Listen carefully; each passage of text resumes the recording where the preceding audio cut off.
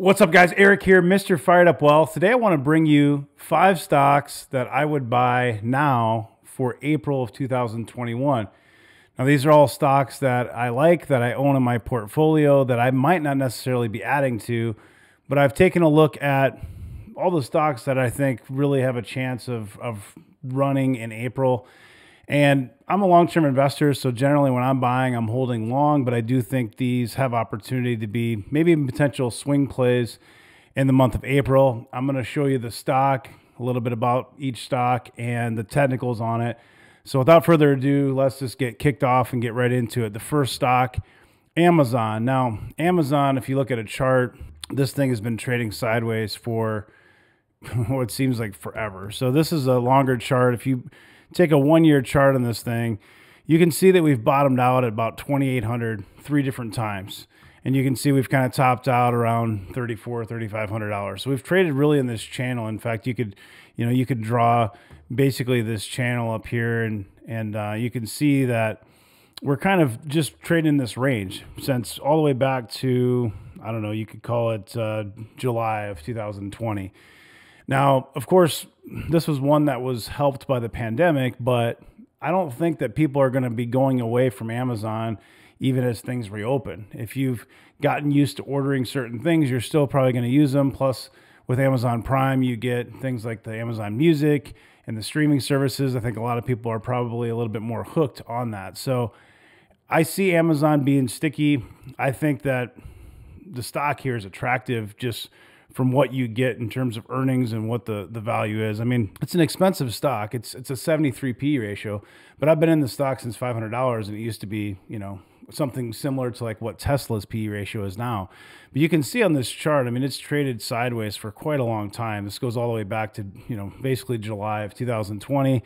73 P ratio, that might sound like, you know, it's like it's expensive, but when you look at the growth behind it, there's definitely opportunity. Now, it is a one and a half trillion dollar market cap, so of course, keep your expectations in check. This thing's not going to just double overnight, but I certainly can see it going higher in April. I think that if you bought this stock around this price, you know, especially if you can get it under 3K, but if you can even get it where it's at now, you know, around $3,000 a share, I think you'll be happy. I think what could even happen with the stock is it could revalue itself to a higher uh, rating. So if you look at like a five year chart, you know, you can see this kind of trades in a range and then it kind of reevaluates itself.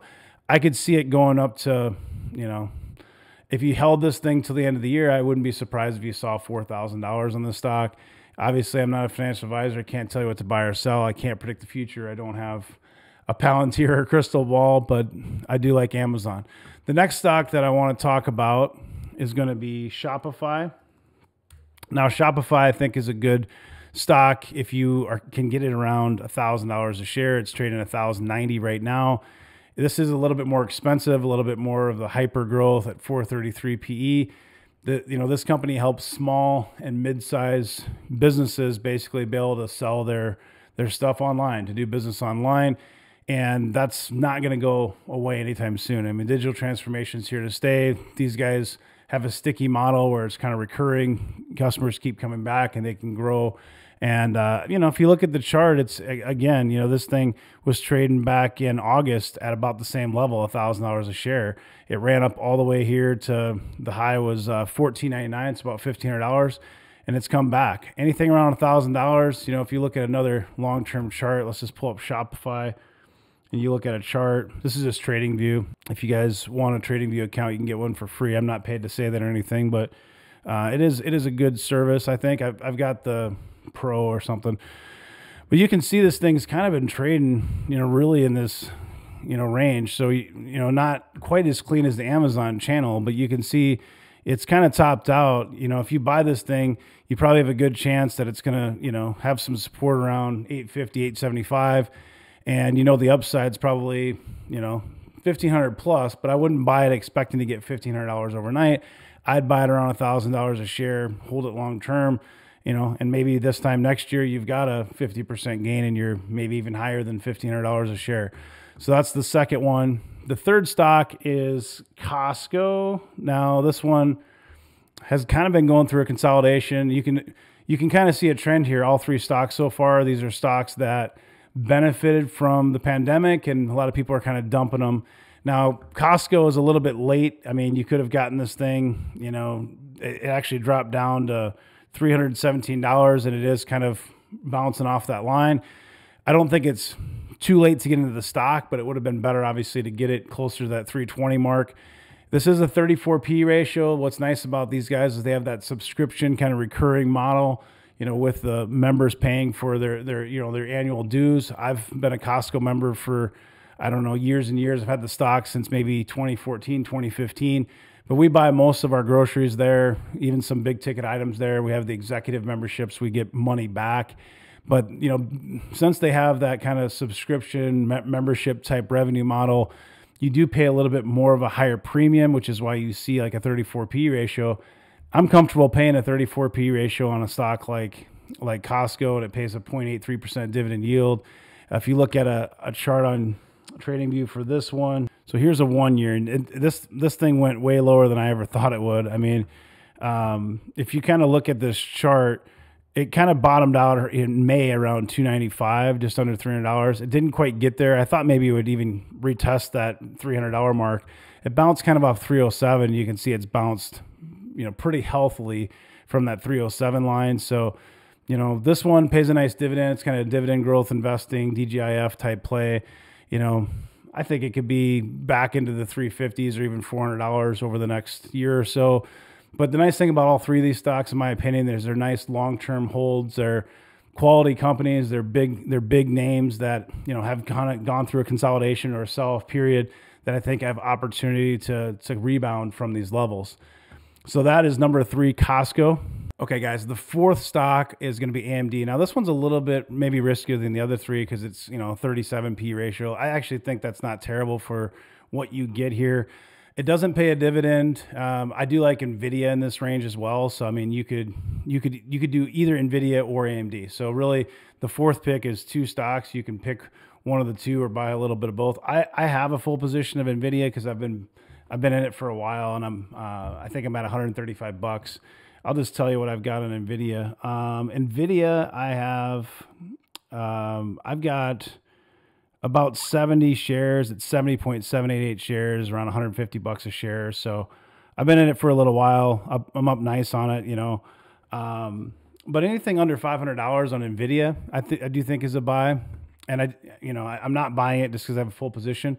But I did add some AMD this morning around these levels. Um, and I don't have as much as of AMD, so I've got a smaller position AMD. I'm trying to build it.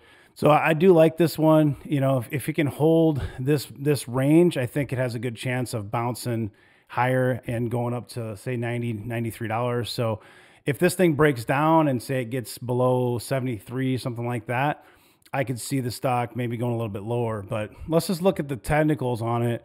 If you look at AMD, now you've seen that we've tested, you're seeing a trend here, right? A lot of these stocks have kind of come and tested these same ranges. So we're literally, you know, 73, 85. This is algo driven stuff, guys. It's not, you know, it's not rocket science. This is computers. 7385, 7376, and 7386. I mean, come on. Within a penny. This is September uh, of 2020 at 7385, and it literally missed it by a penny above it just here on March 8th.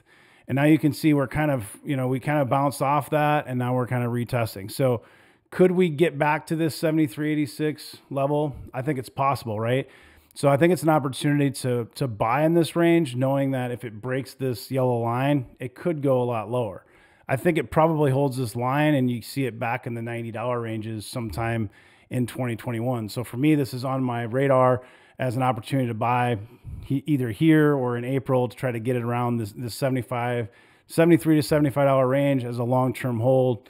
And I think you'll probably be happy with this one. They're going through an acquisition, you know, right now, trying to get Xilinx, you know, and that causes a little volatility because of the way that they're structuring that deal, et cetera. But you can see the trend with all four stocks so far. They're kind of trading this big range for many months, kind of consolidating. You get that consolidation, it's like a rubber band. You you coil it up tight, eventually it snaps and goes one direction. So AMD or NVIDIA, let's look at an NVIDIA chart. This is kind of your bonus pick. A lot of these charts, you can see we're in these high trends and then they kind of broke down and went sideways. So if you look at this one, this goes back to August 2020 again, and you can see same kind of thing, right? 468 and then magically, you know, 462. You know, it came right back to that range from that September 2020, you know, in March when it March 8th a lot of these things kind of had their short-term bottom and you know, you can see they kind of bounced off that and they're kind of retracing back. They could retest. This is the same kind of deal. If you can get this stock under $500, you know, keep a close eye on it. I always dollar cost average. If this thing breaks 462, I mean, it could go down to, you know, you could you could hypothetically say maybe it's somewhere in this 391 range. You can use Fibonacci's and all kinds of fancy, you know, uh, technical analysis to get you different numbers. But just looking off simple trend lines and moving averages and RSIs and things like that, you know, to me, this this stock also looks like a pretty good buy. So so far we've covered four picks, but really five because Nvidia and AMD are tented together. So what would be the last pick? What is number five? Stay tuned to find out. Okay, number five, guys, is Teladoc, and obviously a lot of these, you know, stay at home, work from home type stocks have been hit really hard. Right now, the the mantra in Wall Street is, you know, sell anything high P, you know, sell anything that's, you know, crazy growth or speculation, sell anything that's ARK, you know, buy value, buy cyclicals, anything that was work from home or stay at home, sell that and buy this other stuff. To me, you've kind of already missed the boat. I mean, we were trying to prepare in our group to, to essentially, you know, have a barbell uh, around last summer, last fall, and positioning more into some value. And some of those value names I've actually written and sold, and I'm taking the cash and putting them back into these names that I like long term for growth. Now, Teladoc to me is one where if you zoom out on this and look at, say, a, a five year chart, you know, this thing was back here at $15. It started to take off before the uh, the pandemic, and you can see that uh, you know it was basically trading around hundred dollars a share. So it kind of made this nice pop. They announced an acquisition, made this nice pop. I did a, my first video on Teladoc. It was about 95 $100 a share. From that point on, it obviously popped because of the whole, you know, pandemic and it just went nuts. And this was way overdone at $300 and now it's kind of coming back. And you can see if we zoom in and look at this red line, you know, this is literally, let's go to a one year chart. So this goes all the way back to June of 2020, this red line. And you can see the first time it touched that was this 168.50 back in November. So again, around that fall of 2020, we had a little bit of a correction. Then we had this massive run up from 168 and almost double to 308, and it's come back. So what I'm saying here is my fifth pick, Teladoc. I like it. You have to be careful with it. If it breaks this 168.50 range, it could go a lot lower you might see something like 150 bucks. You know, you might see something um, if you kind of draw back this line. You know, it could come down all the way to this yellow line if it breaks this 168. So understand the risk. If you buy here, it could go lower, and you're probably gonna have to dollar cost average. But I think there's a good chance it probably bottoms out around this 168.50 range. That it finds support again here on this red line, and then it goes back the other direction. Will it go back to $308, you know, in a month like it did last time or a few months? Probably not, but I like this as a long-term hold. You think of the acquisition with Livongo, they can do a lot of different things. When you when you look at it from the 10,000 foot view and say, where's this company going to be in five years?